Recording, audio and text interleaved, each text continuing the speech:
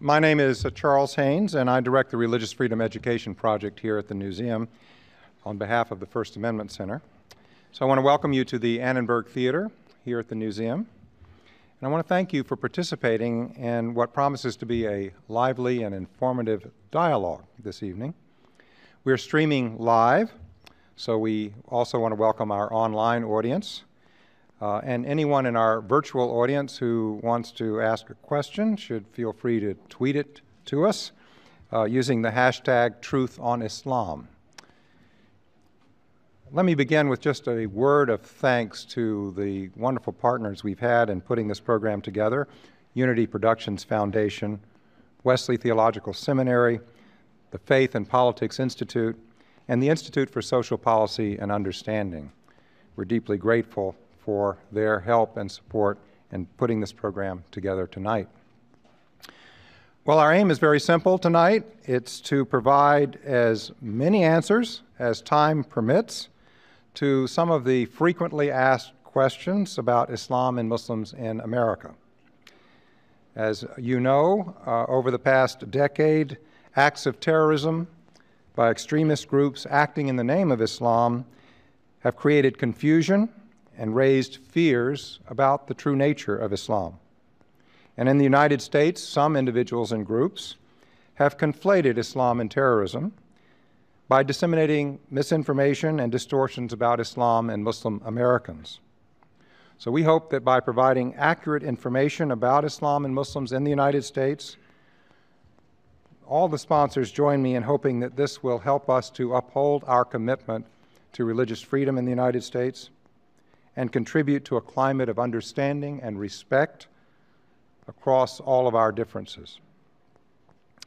We'll begin the program tonight with a film, My Fellow American, a brief film that was produced by Unity Productions Foundation. And then, following the film, we will hear from Alex Kronemer, who is the co founder of UPF. And then we'll move right to the panel and your questions. At the conclusion of the evening, Alex will come back and give us some guidance on good resources for creating further understanding and for taking action in our own communities. So now we'll show the film.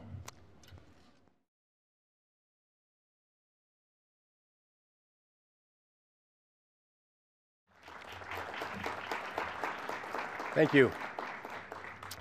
Uh, well, first of all, I just want to welcome everyone uh, on behalf of Unity Productions Foundation uh, for being here this evening.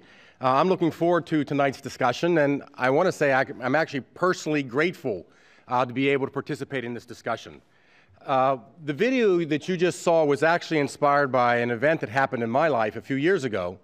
my son, younger son, was then in 10th grade. It was a Sunday afternoon, and uh, he had wrestling practice so he had to go to. But he's a big Redskins fan. And he was uh, watching the game, and the Redskins were at the 20 yard line when, when, when, we just had to leave, uh, or he'd be late. And I and sort of had to manhandle him out the door. And we got in the car, and as soon as we were in there, he was um, you know, immediately saying, Oh, you know, turn on the radio, turn on the radio. And you know, it, was, it was kind of cute. I mean, he was young and naive and thought it was possible the Redskins actually might have scored. Um,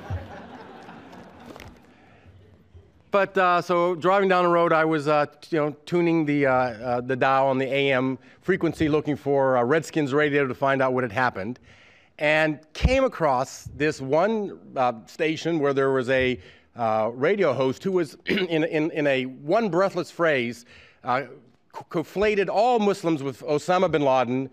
said that American Muslims should have their civil rights stripped of them, and anyone who disagreed wasn't a patriotic American. And I forgot for a moment my son was sitting next to me. And, in case you can't tell by my name, we're Muslims. Uh, and I was just listening to this for another minute. And suddenly I remembered there he was. And I looked over to him and I could see he was deeply uh, in shock by what we were hearing. And I, I didn't know how to react. I just turned to dial and, and didn't say anything, dropped him off, and sort of stewed on it uh, while he was at practice. And when he came back into the car, I was ready to talk. I really wanted to engage him about this. But when I brought it up, he didn't want to talk about it. And I could tell he was in pain. Uh, he just really didn't f- feel like he could discuss it. And it made me realize that the damage from that was already done.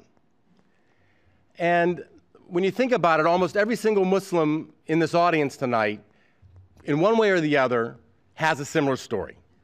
You know, 9 11, uh, the two wars uh, that were fought, uh, various criminal acts by um, homegrown crazies and radicals have given people a justified sense of fear. But at the same time, it's also created a lot of opportunity for careless and I would say even opportunistic rhetoric that seeks to exploit that fear, deepen it, uh, and, and to extend it to blanket all, you know, the, the vast majority of peaceful Muslims in the world and in the United States who just want to raise their families, earn a living, and make contributions to this country like everybody else. But as we know, we're living in very polarizing times. And the public discourse, just about any issue, uh, is the cause for uh, a great deal of aggressive, uh, I wouldn't even call it debate, because it's not that we're even seeking anymore to convince people of our point of view, but it's more like we want to defeat them, humiliate them, demonize them. The belief in the goodwill you know, that, that we're all in this together somehow has, has been lost. And so, what we hope to do with this film that we made was just to remind people that behind the demonizing rhetoric are, are, are real people.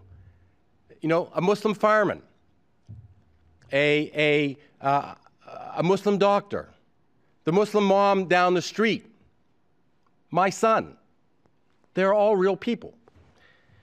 So I am very grateful to be able to be a part of this this evening, to share this film, uh, and to uh, be a part of tonight's discourse. Because there's one thing for sure we in this country are at a crossroads. And the crossroads is whether we are going to let this angry rhetoric that so dominates the public square right now, we're going to allow it to divide us and make us into ever smaller groups where we only seek the opinions of people like us to confirm our already pre established belief and prejudices, narrowing what it means, our definition of what it means to be an American, or whether we're going to be able to come together to embrace our diversity and, yes, our differences, and broaden the definition of what that means. That has always been the thing that has made America great. That's the America I'm looking, uh, th- that I believe in, and that's why I'm so looking forward to uh, tonight's uh, uh discussion. And um, want to thank you all again for being here. Take care.